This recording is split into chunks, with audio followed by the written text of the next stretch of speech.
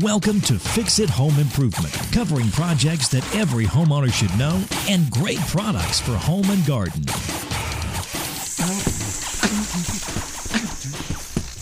Hi, I'm JC, and this is where we share weekly home improvement tips. I'm here with my co host, Cindy. Hello, JC. Hi, Cindy. Today we're going to be talking about lawnmower maintenance tips and also, if you're in the market for a lawnmower, the different types of lawnmowers that are available. So I'd like to thank goodpodcast.com. They were nice enough to recommend our podcast as a good one to listen to. That was nice of them. And you can check them out at goodpodcasts.com. You want to start out with some maintenance tips? Sounds good. All right. And these are primarily for gas lawnmowers. Uh huh. And a, a well maintained gas mower should last you about 10 years. Wow. It's going to, the maintenance will add life to it. It's going to increase fuel efficiency. It's going to run smoother. And then, especially with the tip of sharpening your mower blade at least once a year, it's going to be much healthier for your lawn. So, the first thing you should do every year is replace your spark plug. Mm-hmm. And it's pretty easy. If you have a socket set, you can buy a specialized socket. It has a rubber gasket inside of it, so it's very easy to take it on and off without damaging the spark plug. If you don't have a socket kit, there's a very inexpensive tool. It's a spark plug removal kit that you can buy at the hardware store. Right. And it's just basically a socket with a little bar to tighten and loosen it. So very inexpensive, easy way to replace the And that's going to be by where all the uh, lawnmower repair stuff is, exactly all the not parts. by the regular sockets. Exactly. Well, most most companies are, or most hardware guys are. Well, it's gonna, considered a lawn and garden item, not a, a regular, you know, standard socket. exactly. And what's nice about the spark plugs now is the gaps are preset. Whatever your lawnmower has, you look at the side, it's going to have the spark plug. You remove the old one, you pick up the same one and replace it. Very simple to do. Something you should do every year, and that's going to help it start easier. You can have a real solid spark, and it's going to run smoother. Where can you find out what type of spark plug you have? Is it going to be in your owner's manual? It'll it'll be in the owner's manual. In most of them, some of them actually don't have it. I've I've read a few manuals because customers have brought them in. Mm-hmm. So the easiest is just to look on the side of the spark plug itself, remove the wire from it, and you'll be able to see it easily. If not, then as you remove it, you'll be able to see it right on there. And then the next thing you should do every year is replace the air filter. And they're so inexpensive now mm-hmm. that, you know, and they used to try to clean them. And, you know, probably the worst thing you can do is try to hose them off or, uh, you know, even use an air gun. Some people have used air guns on them and just, they just tear up. You know, I would just replace it once a year. In the old days, what people used to do is add a little oil to the paper filter. Why? And they, you know, I, I don't even know, but they don't recommend adding oil to the filter anymore. Isn't that like stopping it from doing its job? Yeah, you would think so. And I don't know why that was popular. So the next thing you should do every year is sharpen your mower blade, clean it and sharpen it, and also balance it. And they have a couple different kits you can get at the hardware store. One is really nice. It has a, a little grinder that you can put onto your drill. Uh-huh. And it has a beveled and a flat side so that you get the, the nice angle on your blade. And then it has a balancing tool that you set the lawnmower blade on, and then you can tell that you need to take more metal off one side. And you want that blade balanced because if it's unbalanced, you can actually shorten the life of your bearings on your mower. Don't they just sell a balancing, you They, know? they the- sell the balancing tool by itself, uh, you know, and then it has the kit with the grinder and the tool. Right. If you don't have a belt sander, you can b- use a belt sander too or a grinder. But a nice little tool that we sold a lot of at the hardware store was from AccuSharp. It's a, uh, I think they call it Garden Sharp. Right. And it has the bevel on it. So you take your blade off and you just use light pressure. It has a carbide bit that lasts for years. So it's very easy to sharpen your blade. I have the one for the knives, for my like my chef knives, Yeah, and it's so easy to use, and it does an amazing job. yeah, it's great. I tend to cut myself after I sharpen the knives, but But it it, it slices through my skin just like butter. nice, nice. So to change your blade and to sharpen or to remove the blade and sharpen it, I would always take off the wire from the spark plug so it doesn't accidentally start once you're moving that blade. Mm-hmm. I would lean the mower on its side and you'd want the side with the filter and the spark plug facing up. right? And then I always take a piece of, of wood, like a 2x4, and I lay it on the ground. I put it into the base of the deck, and then that allows you to put the blade against it, wedge the blade against it, and then you're able to unscrew the nut. Once you take that blade off, then I would use a brush, get all the debris off because you don't want that to give you a bad reading, you know, mm-hmm. where, when you're balancing it. So you need everything scraped off there. Sharpen your blade, and then I always like to mark the side that's up, so I'll use a magic marker. I'll take a, a tool and I'll scratch it so that I know what side's up. Because on some of these blades, it's difficult to tell once you remove it what side is up. Mm-hmm. Does it have to be a magic marker, or can you use any type of permanent marker? Any type of marker would be fine in this case. Sometimes you need a mm-hmm. magic marker. Yes. So once the blade's back on, you can tighten it up. Again, I would use that 2x4 to wedge the lawnmower blade against so you can tighten the nut well. And that's all there is to it. So if you're in an area where you have cold season grass where it freezes in the winter, you're going to want to do this at least once a year. Mm-hmm. But if you live in a, an area where you have warm season grass, you don't get a hard freeze, you'd probably want to sharpen your blade twice a year. And that's going to be much healthier for the grass and it's going to have less chance of spreading any type of lawn disease.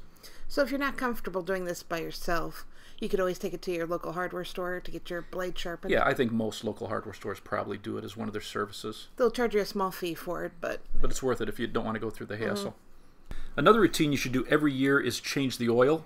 And this is a routine that a lot of customers don't do because they just think it's difficult or a mess. Mm-hmm. A lot of the old mowers, they had a drain valve underneath the deck, so it uh-huh. was difficult to remove that and drain the oil without it making a mess.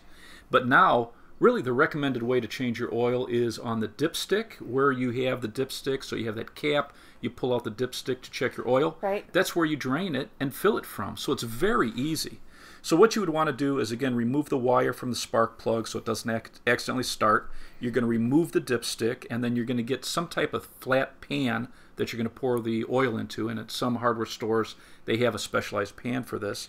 And then you're going to turn your mower on the side with the oil fill tube down and then the side with the spark plug and the air filter that's going to be up and you're just going to drain it. Uh, before you drain it, though, you're actually going to let your mower run for five or ten minutes to warm up the oil. And what this does is it's going to drain very easy, and also all these particles, metal shavings, and this is what really shortens the life of your mower. Is if you're not changing your oil, all these metal shavings beat it up and shorten its life. So when you warm up your engine, all these particles go into suspension and then you're able to drain them out very easy. If you try to drain it with cold oil, mm-hmm. it's t- going to take longer and all these particles are going to settle at the bottom of the mower.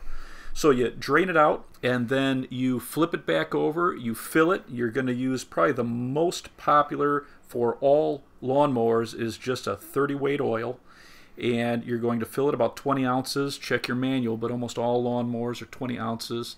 And most hardware stores have just a 20 ounce bottle, so it's very easy. And then you're going to check it. You don't want your oil too low or too high, so clean your dipstick, let it set for a few minutes so that all the oil settles. Right. You're going to check it to make sure you're at the right level because it's kind of critical. And that's all there is to it. And if you do that once a year, you are going to add a ton of life to your lawnmower. You know what Briggs and Stratton just started? no. If you take your recycled oil, so the oil that you drained out of your lawnmower or whatever device, to any of the Briggs and Stratton dealers, they will uh, take your old engine oil and recycle it for you. Oh, that's nice. So that's it's nice. So you can look them up in your local phone book or uh, online, Really, a phone book? and uh, you can find a Briggs and Stratton dealer. So those are the main tips of what you should be doing every year to maintain your mower. So that's what would be considered a tune-up. Yes, If you brought it to your local repair shop, that's what they would be charging you for. right, and very easy to do yourself. So what I would do to add to this, every time I mowed, I uh-huh. would clean underneath the deck, especially if you have a mulcher. Because what happens is as that grass builds up, and sometimes it's very damp and full of moisture, mm-hmm. so you have the chance of rusting out the, the deck much faster. And then also with a mulcher, it changes the way the airflow moves underneath it. So if you just take a minute, tilt the mower over to the side. Again, I would remove the spark plug wire and I would take a, a brush or even a broom and knock loose all that buildup so that it doesn't get too thick. And Do you have to worry about like gas leaking out of your, the tank? I would always try to make sure that the, the spark plug and the air filter's up, and that's going to solve a lot of it. One one tip one of our customers gave us was he was doing an oil change, and what he did was he take would take off the gas cap because when he did an oil change it leaked. He put a uh, a plastic baggie over that, and then he screwed down the the cap and just it just tightened it over it and created a gasket. And then he would do his oil change; it wouldn't leak, and then he'd remove it when he was done. But I think that's a, a great trick. If you have a, a gas cap that leaks, you know, just put a baggie over it, screw your your uh, cap back down on it. It'll prevent it from leaking. What I like about a lot of the new mowers is they have this built-in wash port on the top of the deck. So it's this threaded tube where you can connect a garden hose to. You turn on your garden hose and you let your mower run, and the blades splash this water up into the deck and they clean off all the buildup of grass. And so you run this until you don't see any more debris. You turn off the hose and then you let it run for a few minutes so you can dry the deck so it doesn't rust. Speaking of rust, Yeah. so my dad, this is going back probably like five years ago, but he needed a new lawnmower, so I got one. You know, he spent a couple hundred dollars at the hardware store for a brand new lawnmower. I'm not going to mention the name of it because it's not their fault. but uh, so he would mow the lawn, and this is after my sister and I had already moved out, of course. And uh, so he'd mow the lawn, and then he was too lazy to put it into the shed. Okay. So he just left summer, it out. Summer and winter. No, this was just through one summer, but uh, he it was totally rusted by the time it was uh, Really? the end of the season. I had to bring it into the hardware store for our small engine repair guy to Right. look at it, and he's like, "I've never. How old is this lawnmower?" I'm like, you know, it was like literally a year old, and I'm like, huh? and he's just like, "I've never seen anything this bad." So my suggestion is store it inside. Very good. so another tip I would have during the season is to always use some type of fuel stabilizer, and we've always used the STA-BIL brand name, and customers have been very happy with that. We've used Amsoil also with uh, good results. And every time you got gasoline, so the gas can that you're going to the gas station filling with gas, I would all, always add my fuel stabilizer when I get, let's say, a gallon of gas you add the recommended amount of fuel stabilizer, and so that fuel is always going to be protected from breaking down quickly. Because gas, within 30 days, gas starts to break down, loses octane, it starts to get gummy. So by putting a stabilizer in it every time you fill up your gas tank, you've always got your fuel protected inside your mower. Mm-hmm. And let's say that you've filled your tank, you haven't mowed much, and now rather than forgetting about it, mm-hmm. when you store all this, you've always have the fuel stabilizer in it. And I think that's just a great routine to get into. Well, because like my dad always had, you know, we had always had one gas can for the snowblower, one gas can for the lawnmower. Okay. And so, you know, when he started me and my sister to uh, start mowing the lawn, you know, he- he'd say, you know, this is a gas can for that. So he'd fill the tank. And then, I mean, that fuel stayed in that gas can, you know, until it ran out. Right. You know, so, I mean, who knows? I mean, how long it stayed in there. And, you know, he would yell at us because we tried to start the lawnmower. And, you know, he's like, what's the problem? And I mean, you, you know, pull and pull and Because pull. it loses that octane. Right, but I mean, I didn't know that at the Right, time, and right. you know, he just yelled at me for being weak. Weak. yeah, but I mean, we, I mean, I would pull, you know, twenty times, and then of course he'd come out and pull once, and it would Right. be, it would start. But Well, that's why that, that new, uh, from the company that makes STA-BIL, they have that new product, Start Your Engines. right, And so we've sold that to a lot of customers who, like at the beginning of the season, they didn't use a fuel stabilizer. Right. This adds octane. It helps clean it as you use it too. But that's a it's a nice tip too. If you've got a, a mower and it's hard to start, I would try this product. Start your engines. It, it does a nice job of boosting the octane. You know, if you change your spark plug so you get good spark, Mm-hmm. you, in your air filter you're getting oxygen, and then you have this high octane. Those are really the the three things you need to, to start a, a mower. I uh, really then, ragged on my dad in this episode, didn't I? does he listen? No, Oh, but right. just so you know, I do love my dad. That's good. So, uh, one of the techniques that a lot of people used to always recommend is at the end of the season to run all of the fuel out of your lawnmower. So, just Right. let it run until there's no fuel left and My store it. grandpa always did that. And the problem uh, that most manufacturers have with that is that when you run the fuel out, there's no longer fuel touching a lot of the rubber gaskets. Right. And so they can dry out and shorten their life. And then also, you never can get all the fuel out. So those small amounts of fuel that remain in the, the lines mm-hmm. are going to start getting gummy, lose octane, and varnish. Well, so I mean, I can remember being over at my grandparents' house, and we'd just sit there, and he'd have the lawnmower let's, just let's watch the mower till it runs out. Right, we'd sit on the picnic bench and just, you know, I mean, the lawnmower's running, you can't hear anything, and I mean, it was so boring. And I'm like, what are you doing? It's like, this is just what we do. That's funny. So, so now what most manufacturers recommend is just make sure there's a fuel stabilizer in your gas, fill it to almost full, run it for a couple minutes to make sure that the fuel stabilizer is through the system, and then just store it for the season with a mm-hmm. with a full tank. So you want to go over a few tips if you're in the market for a lawnmower. Yes. If you're looking for self-propelled, it definitely makes the job easier, whether you're young or old. But there's two styles. You can get a front-wheel drive, which is less expensive, and a front-wheel drive is fine if you have a flat lawn. It makes it easy to turn because you can you can kind of push down on the handle, lift those front wheels, mm-hmm. and then you can manipulate the back wheels very easily because it's a front-wheel drive. If you have a yard that has any hills or rough terrain, you're going to get your best traction from a rear wheel drive. It costs a little bit more, but you know if you've got a, a tough lawn and you want the lawnmower to do the job, a rear wheel drive is the way to go. And I had a uh, well when I first bought this this uh, last house, it was just an older home, pretty big sized backyard, and it was just rough. They just let the house go, and there was a snapper there. So when I bought the house, I kind of inherited a snapper uh, self propelled lawnmower, and it's the first self propelled I ever used, and I just loved it. It was a workhorse, but it was probably like your dad. It must have been left out, and it was just rusted and Well, this is the same house that had the bee's nest, right? bee's nest and, and holes in the attic where birds were flying in and out. So everything in that house was rough, including. But that snapper was yeah, beat up and terrible looking. But it started. It was just a workhorse. It was uh, beautiful.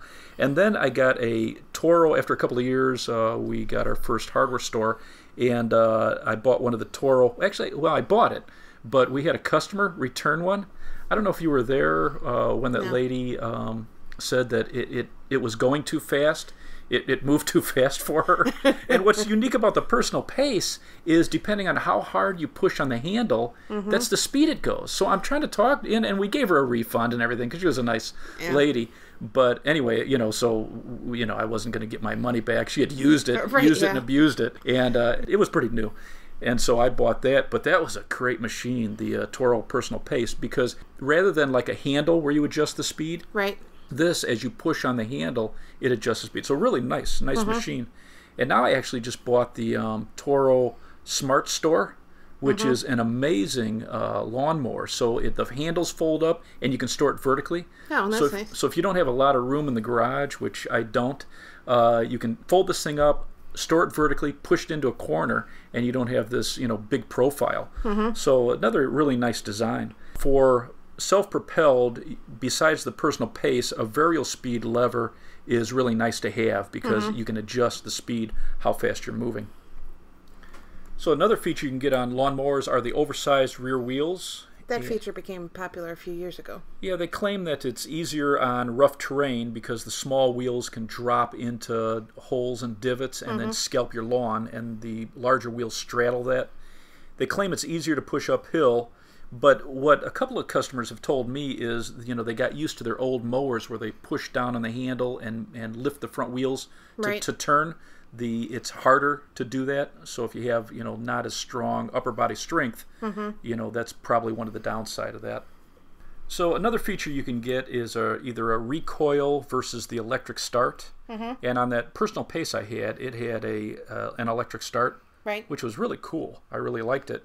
Uh, recoil is you've got the cord that you pull to start it, and uh, you know these new motors are so good that there's no more choke, there's no more priming. Right. It's amazing how easy it is to start these. And in fact, Toro has their GTS, like on this new one I got that Toro SmartStow, it has the three year GTS, which is it's guaranteed to start on the first or second pull, mm-hmm. or they'll tune it up for you for free, which is pretty amazing. The only thing that you got to realize is you have to maintain. So all those things we talked about maintenance, Right. You have to maintain it, and they actually want you to keep a diary, which most people don't read the instructions. So you got to keep a diary. A lawnmower diary? Yeah, a lawnmower diary that you've maintained it, and if it doesn't start in the first or second pull, they will uh, tune it up for you for free. Dear diary.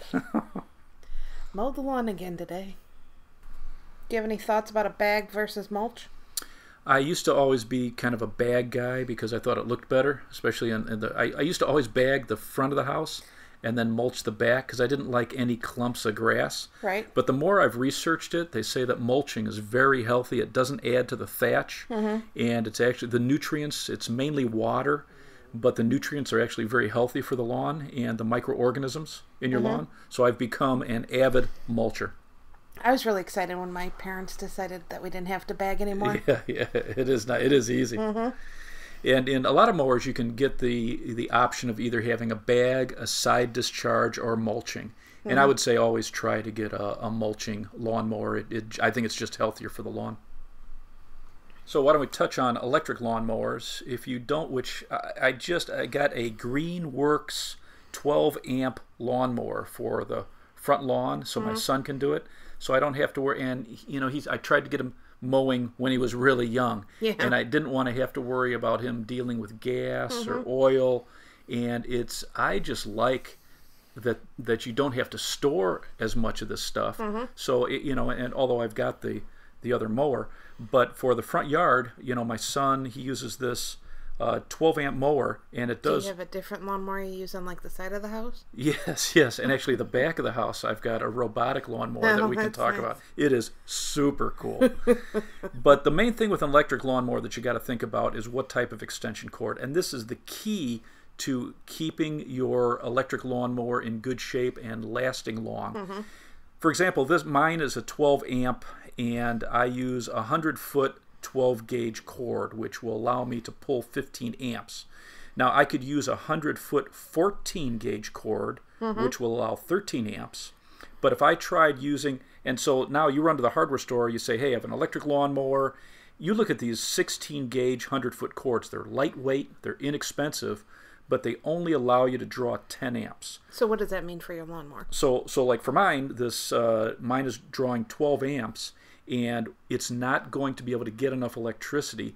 So it's it's going to put wear and tear on the motor itself. Mm-hmm. It's going to possibly overheat, and then you're trying to draw too much out of this cord. So you can overheat the cord itself, shorten the life of the cord. You can dry out the insulation, mm-hmm. and there's a potential for a fire. But the problem is that the mower will still work, but you're still using the wrong cord. Right, and it's just not being able to run as what it's designed to do at, at a proper speed. Mm-hmm. So you're shortening the life of your mower. So if you're using an electric lawnmower, which I like, I would say the most important thing to know is how many amps, and then you need to know how many amps that your extension cord is drawing, and you need to make sure those match. Mm-hmm.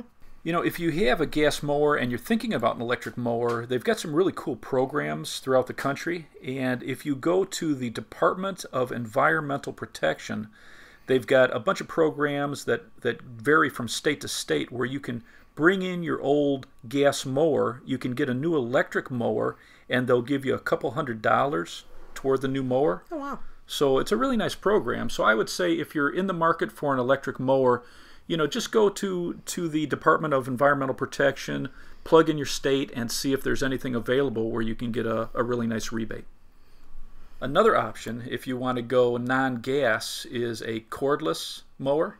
Yep. And what I picked up for my backyard, because I have a very big backyard, is the RoboMow, mm-hmm. and this is a robotic lawnmower. Wow. It is super cool.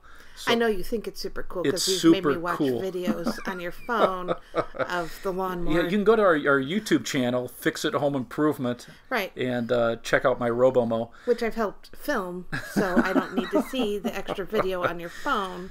So you put this low voltage wire all the way around where you want it to mow, and it actually edges also. It has a little charging station that it goes back to on its own. It charges itself up, and then you can set the schedule. You can have it mow once a week, twice a week, and it has a sensor. If it's rainy out, it won't mow, which is amazing. It has little bumpers if you It's have. so- it is. And if uh, it bumps into something, it'll reverse itself and move around it. But it does this random pattern, so you never get ruts in your yard. And it mows. So this is the first season I've tried it. So I'm actually excited. By the end of the year, I'll do like a, a review how I like it. But it's but so far it's absolutely amazing. And it's it's weird that I like to watch it. I know. I like to just sit and watch this thing work. It's it's really cool. So that's another option, and you know it's it's a little pricey, but if you compare this, if you're considering having a lawn service, Right. This RoboMow actually will pay for itself, and then year after year, it just it just does a job, and it's it's cordless. Um, it's really easy to replace the battery and the blades themselves. There's two blades underneath, and they spin in different directions. So after a season, you just reverse them. So now they have a sharp edge. Oh, that's smart. And they say then after a few years, you just change them. The bearings are so small on these cordless mowers that, uh, at least on the RoboMow, they don't want you sharpening it because they're scared that if it's unbalanced, you'll shorten the life of the the thing. So just buy new blades. But it's it's an interesting option. So there's a bunch of just cordless push mowers that you can get, and most of them have 40 volt uh, lithium ion batteries. Craftsman has a really nice model that's considered uh, that's rated very good, and uh, one of the best out or, or one of the highest rated is this Ego. It's EGO, and it actually has a 56 volt lithium ion battery Wow. which is pretty amazing because like most most of your like uh, heavy duty tools are like 18 volt. Right. the craftsman is 40 volt. And this thing is a 56 volt battery. So it's the most powerful on the market. It is a 20 inch deck it'll mulch it'll bag it'll side discharge and you can get 45 minutes out of this battery. So pretty amazing. And it's pretty cool. So I was on their website and you can take that battery and you change it from tool to tool. So I'm actually interested. I might I might check out they've got a, a, a really cool I need a new uh, hedge trimmer and so I actually might uh, try that. So if I get it I'll, I'll throw that on the channel. But what's what's funny about this mower is it has LED headlights. so, so so if you're you know you just love this mower so much that you're mowing into the evening it has LED headlights so you can you can do it in the dark. Uh, and the other thing it has, it's it's kind of like the Toro SmartStow. It, the handles fold up, and then you can store it vertically. Oh, nice. So and you don't have to worry about gas. Yeah, easy. So easy to clean. You can just tilt it up, clean the base deck, and uh, you know, very interesting uh, lawnmower if you're looking for cordless. So when we were researching this episode, we went through some of the trade magazines that we get and the consumer magazines, and looking at the top-rated lawnmowers. So if you're in the market, the Greenworks is always rated really high for an electric one. Husqvarna, and Husqvarna is interesting. They have an all-wheel drive lawnmower, so it's variable variable speed. If you have rough terrain, if it's hilly, it's all-wheel drive. They have like really rugged-looking tires, so there's something for that. Uh, Poulan was rated high. Honda uh, did a great job in a lot of these customer uh, consumer magazines. Troy-Bilt, Craftsman, Snapper, that Ego For the cordless. cordless one was rated very high. Toro and Cub Cadet. Mm-hmm. So I think those, if you're looking for a lawnmower, those are probably the the Top the rated. top rated lawnmowers that you can get. I think that wraps up this episode then. If you'd like to subscribe, you can subscribe on iTunes or Stitcher. If you enjoyed it, please leave us a review. You can check out our home improvement videos on Fix It Home Improvement channel on YouTube. And you can subscribe to that as well. If you want to talk to us, you can email us at fixitpodcast at gmail.com. Thank you for listening. Talk to you next week.